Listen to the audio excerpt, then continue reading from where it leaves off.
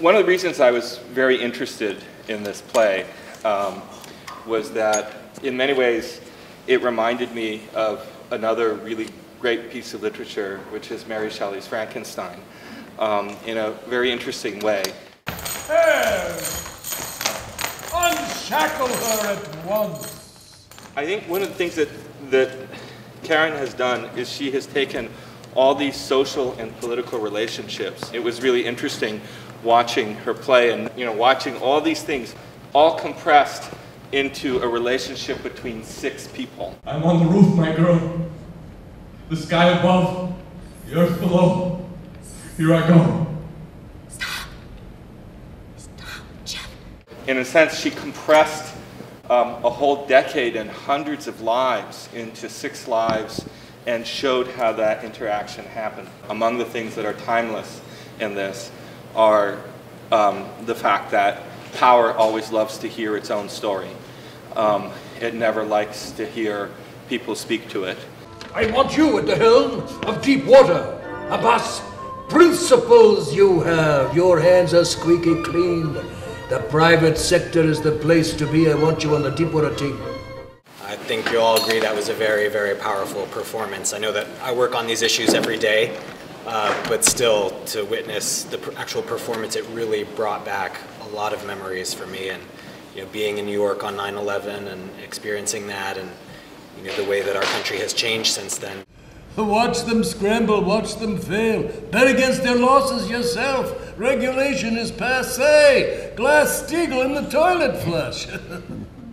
David Abbas's character is an amalgam of, of different experiences and, and different people um, and expectations of uh, that led to, to torture. For example, you're a torturer and you come home a family man, you know, um, and that's something that uh, we don't sort of factor into what happens to people who engage in or expected to participate in um, coercive interrogation, harsh interrogation, torture, call it what you will. My God, I was against all this. I promised myself I never would. You think I wanted to beat him to a pulp? You think I don't know what a man can become? This play is a kind of amazing catharsis of the kind that we need much more of in public space. We need theater. Part of going, going to one of Karen's plays is to feel, and to feel enormously, and to feel about it, and to think, oh my God, that really is what's going on. That really is what we're doing.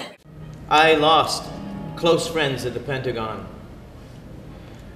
We are tainted, you and I. Sometimes, Lucia, I think it's more difficult to survive I would love it if if everyone in the country could see plays like this instead of shows like 24. I, I, think it would do more than a million marches of a million people. I think it would end wars and torture. This play is so important because um, it, it's simply giving a forum for the truth to be told about, about what's happened in these 10 years. It is possible to run a humane facility. My part where I call the shots. Here in Baghdad, but not Afghanistan? You saw me at my worst. You don't have to explain. Let me tell you a bit about what I do because it really informs how I saw uh, the play tonight. So since 2005, uh, my students and I have represented prisoners um, at Guantanamo, um, at Bagram Air Base in Afghanistan, which was one of the prisons where part of the play was set.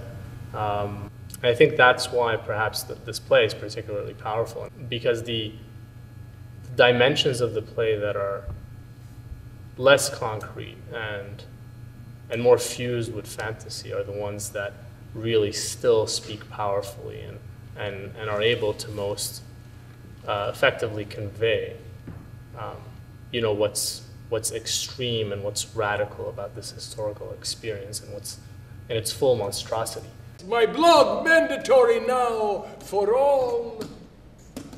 Bleeped straight into all heads. Right loud.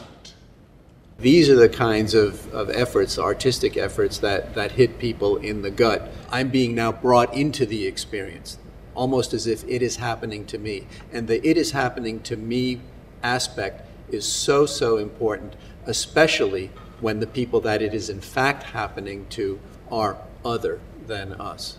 Their hair and lips were covered, but their shapely noses and white eyes were available to view. And the physio could see that. The slave women came from all races. The play ends with the story of a whistleblower. And it's important to recognize how important the whistleblowers were in the course of the last um, uh, decade. But it's also important to realize how persecuted the whistleblowers continue to be. Yes, I released to the press the confidential Red Cross report detailing the systematic and rampant torture and cruel and inhumane treatment of innocent prisoners at Abu Ghraib. That amazing moment at the beginning of the play when, when Tess describes, describes the, you know, the, the feeling shortly after 9-11 here in New York. We were all here. We all remember this feeling, this moment of sort of strange openness. Maybe now we can open ourselves to the suffering in the world. If this could happen, then the terrible thing would be undone. Thank you for that remarkable and really wrenching play. I just want to congratulate you and give one more round of applause.